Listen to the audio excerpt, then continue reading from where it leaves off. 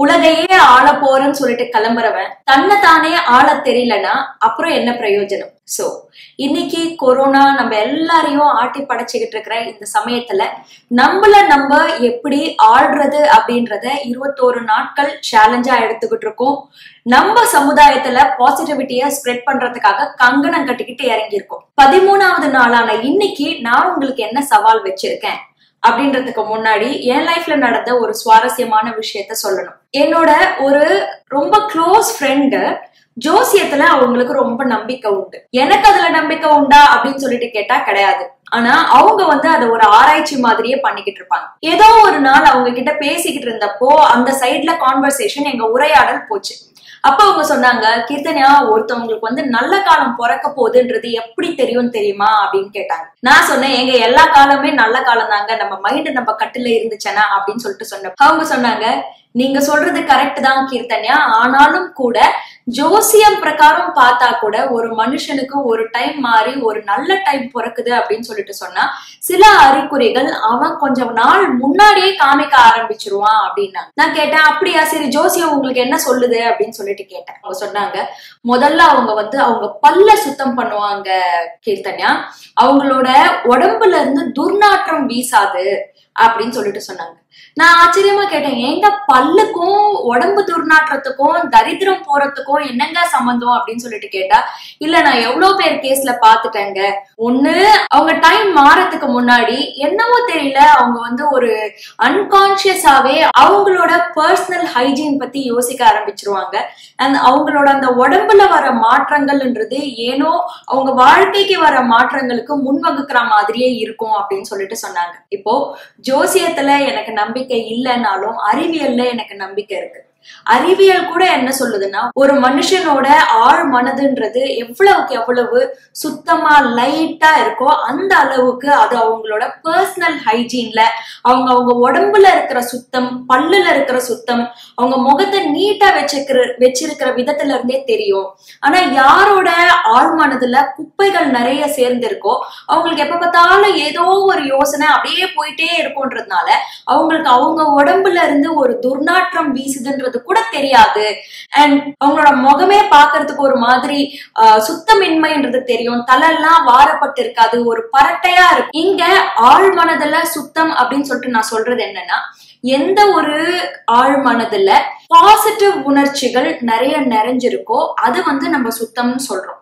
யாரோட ஆழ் மனதுல அவங்க கண்ணுக்கு புலப்படாமையே நிறைய நெகட்டிவ் உணர்ச்சிகள் மன காயங்கள் மன உளைச்சல்கள் தேங்கி இருக்கோ அதுதான் நம்ம வந்து குப்பை அப்படின்னு சொல்லிட்டு சொல்றோம். பர்சனலா அவங்க நல்ல மனிதர்களா இருக்கலாம் நல்ல குணம் இருக்கலாம். ஆனா அவங்களோட உணர்ச்சிகள் ஏதோ ஒண்ணு கட்டுல இல்லாத இருக்கிறப்பதான் அவங்களோட உடல்ல அவங்களோட சுத்தி இருக்கிற இடத்துல அசுத்தமும் துர்நாற்றமும் வரும். சோ இப்போ இது ரிவர்ஸ்லயும் அப்ளை ஆகும். யாரெல்லாம் அவங்களோட மனது உள்ளுக்குள்ளவே அமைஞ்சிருக்கிற அமிழ்ந்து இழுக்கிற ஆலோசனைகளை விட்டுட்டு வெளியில வந்து கண்கூடா நம்ம எப்படி இருக்கோம்? நம்ம உடம்புல இருந்து துர்நாற்றம் அடிக்குதா? இல்ல நம்ம கிளீனா இருக்கிறோமா? நம்ம பல்லு சுத்தமா இருக்கா? இல்ல ஆஹ், கார படிஞ்சு இருக்கா நம்மள அடுத்தவங்க எப்படி பாக்குறாங்க? நம்ம பக்கத்துல வர்றதுக்கு ஜனங்க முகம் சுளிக்கிறாங்களா இல்லையா? அப்படின்னு சொல்லிட்டு அவங்களோட யோசனைய வெளியில வச்சு தங்களை தாங்களே சீர்படுத்திக்கிறப்போ என்ன ஆகும்னா ஆட்டோமேட்டிக்கா அந்த ஆழ் மனதுன்றது நெகட்டிவ் உணர்ச்சிகளுக்குள்ள அவங்கள இழுக்காம ஆக வேண்டிய ஆக்கப்பூர்வமான காரியங்களை நோக்கி அவங்கள வழிநடத்த ஆரம்பிக்கும். சோ இன்னைக்கு இருபத்தோரு நாட்கள் வீட்டுல அடப்பட்டு இருக்கிறப்போ அதுக்கு முன்னாடியாவது ஆபீஸ் போற கட்டாயம் நமக்கு இருந்துச்சுன்னா வேலை வேலைக்கு எழுந்துப்போம் குளிப்போம். அட்லீஸ்ட் ஓரளவுக்காவது நம்ம மேல நமக்கு அக்கறை இருக்கலாம்.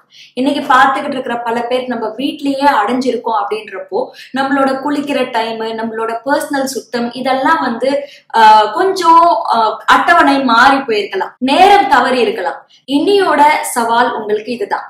விடுமுறையா இருந்தாலும் சரி வேலை அதிகமா இருந்தாலும் சரி எப்பவுமே உங்களோட கவனம் உங்க உடல் மேல.